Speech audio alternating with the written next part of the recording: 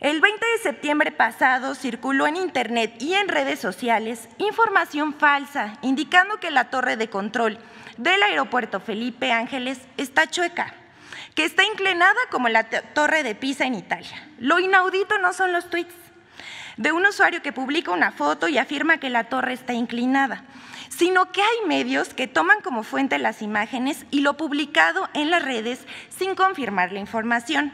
Aquí en la foto vemos los tweets originales, medios como La Silla Rota, Político MX, 24 Horas, Publímetro, eh, Grupo Fórmula, entre otros.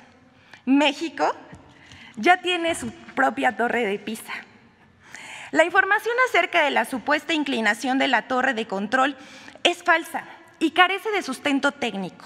Las fotos publicadas se hicieron desde un ángulo que produce ese efecto visual.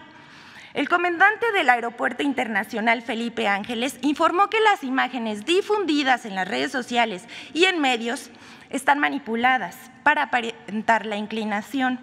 El oficial informa que la torre fue construida bajo altos estándares de calidad sobre una superficie de 9.968 metros cuadrados. Tiene 88 metros de altura y está equipada con tecnología de vanguardia para agilizar el tráfico aéreo de manera segura.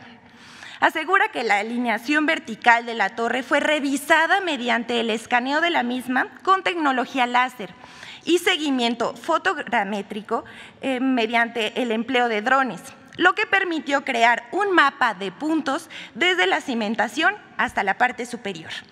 También se probó su verticalidad mediante otros procesos que descartaron cualquier inclinación. Incluso fueron practicados después del sismo del 7 de septiembre de 2021 para comprobar que la torre no sufrió ningún daño.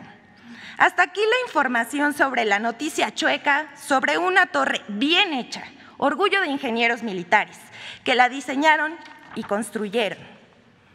La siguiente, por favor.